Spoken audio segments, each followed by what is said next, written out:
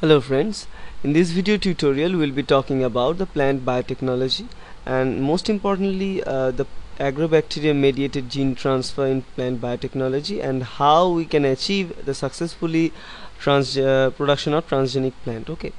Now uh, for from the first base first few slides actually uh, we are going to present the basics of plant biotechnology. That means uh, utilizing different vectors vector mediated gene transfer or naked DNA transfer then different types of vectors and how we can modify those vectors what are the ingredients of the vectors and uh, what why we at all need the modifications in them and all these things. And after that we'll talk about the natural uh, agrobacterium mediated gene transfer in plant and then we'll talk about uh, the synthetic method of gene transfer in plant cells okay?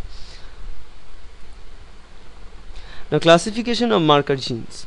Now remember in very first beginning what are marker genes and what are uh, other types of genes? Now marker genes typically are those kind of genes which mark the presence of a particular gene sequence inside the genome okay for example suppose we are having uh, our gene of desire. Now we need uh, the expression of that gene into a host organism.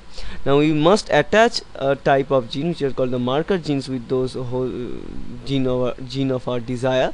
Because if the gene of our desire enters the host cell definitely the marker gene must enter. And as a result this marker gene expression will give us the proof that our gene is actually transformed or our gene is actually transferred from uh, from our system to the desired host system.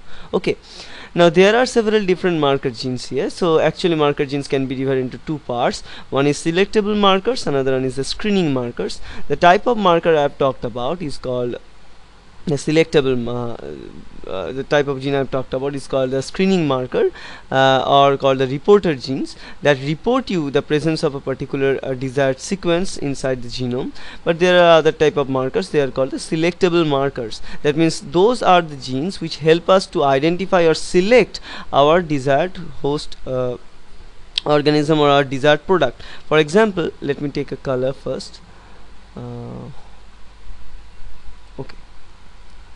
fine. Okay good. Now suppose we are having our uh, desired host organism and inside this host bacterium we need to insert uh, some gene. For example uh, the gene for the production of uh, lact lactose okay? So it can break down the lactose. So what we can do we incorporate that gene with our uh, vector. So we are having the vector we are having the G DNA vessel. Now inside this DNA vessel we are having the gene so let me change another color. So this is the gene of lactose. So we give that gene and we also uh, attach another gene. Say this black color gene here. So this is the marker gene here. Okay. Now uh, then we do the transformation. And as a result of transformation sorry as a result of transformation what we'll end up with? We end up with the production of sorry okay we end up with the production of this bacterium and inside them our gene is inserted or not. So we need to be sure whether our gene is inserted or not. If we provide only this short sequence with our desired gene without any kind of marker gene so right after this transformation we cannot say that whether the gene is incorporated or not. Either this gene uh, or this can incorporate but we want the proof that whether uh, our desired gene is incorporated or not or our desired product is expressed or not. So for finding them we must attach this marker gene which is in black color. Now, as a result of the attachment of the marker gene for example say uh, the colony of this bacteria will change color or something like that. So from thousands of different colonies in agar plate we can distinguish our desired product which will be different in color sometimes sometimes different in enzymatic activities and all these things. We can assay those things and and can take up our desired product from other products. Okay so that's how the importance of selectable markers come in.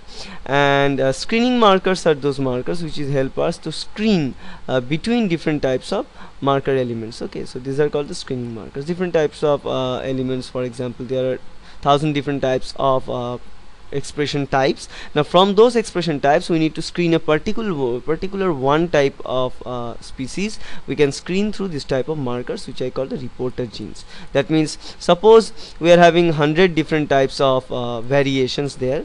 Now from these 100 different variations we want only that variation which will change in color but not change in enzymatic activity or not change in any other things. So we can screen uh, using uh, the the property of changing color from this sequence and you can get it. Okay. Now characteristics of ideal reporter genes. Now there are three major characteristics for ideal reporter gene. First is the detection with high sensitivity. We, we must detect them with high sensitivity. Second thing is there should be a quantitative assay available for uh, for uh, knowing the presence of that marker gene. And third thing is the assay should be uh, require a minimal amount of effort and expense as it uh, possible okay?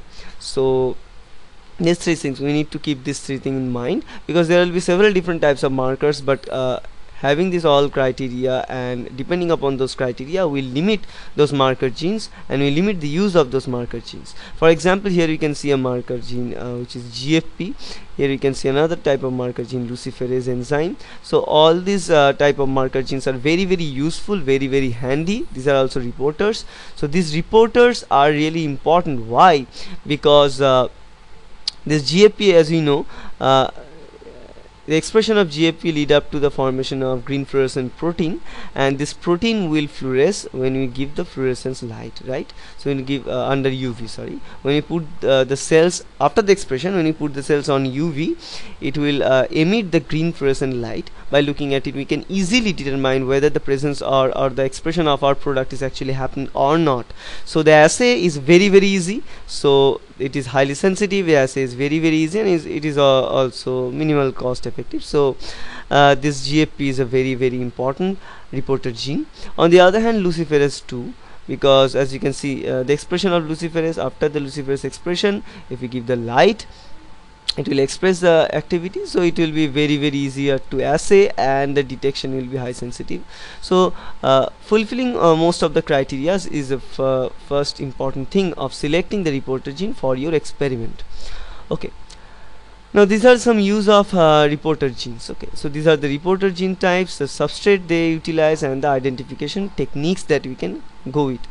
Now these are the common uh, type of reporter genes we now use uh, like octopine synthase. Octopine is a hormone type a hormone like uh, molecule.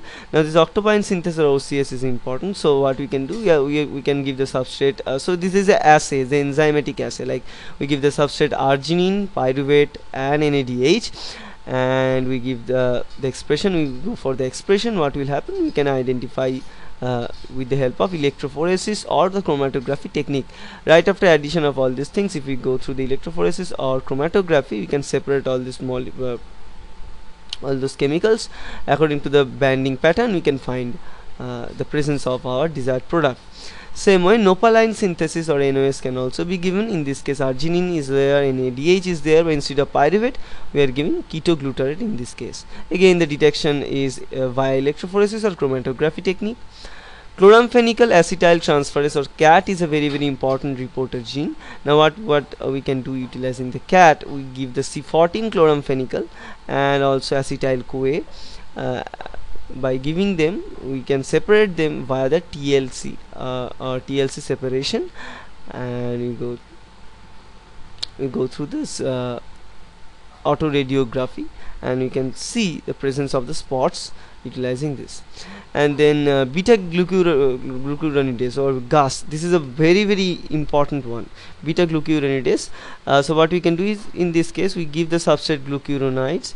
Now onto the glucuronides beta glucuronidase can act. Sorry again.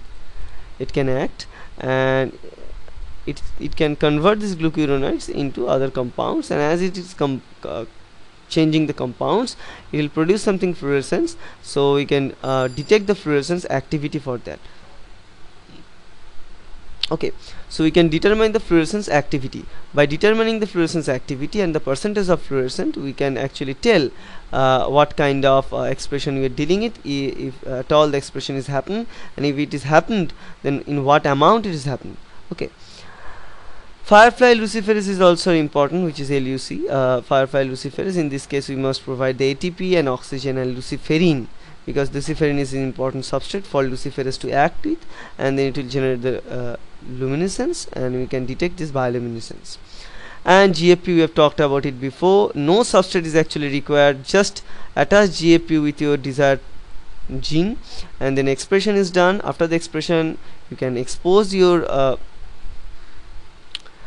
uh, we can go with uh, the fluorescent microscopy or uh, also we can go with the fluorescence detection utilizing fluorometer. And we can see the emission of fluorescence and by looking at it we can actually tell whether the expression is happened or not